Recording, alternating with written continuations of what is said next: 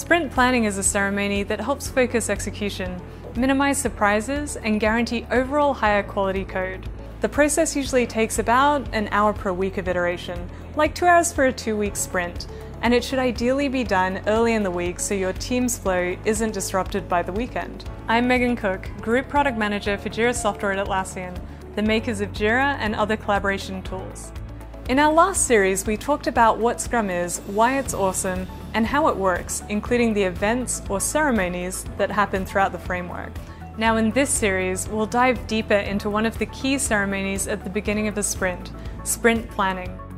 During the sprint planning process, your product owner, scrum master, and development team will come together to discuss two key questions. What can we deliver during the upcoming sprint in order to achieve the sprint goal? And how will we deliver that work?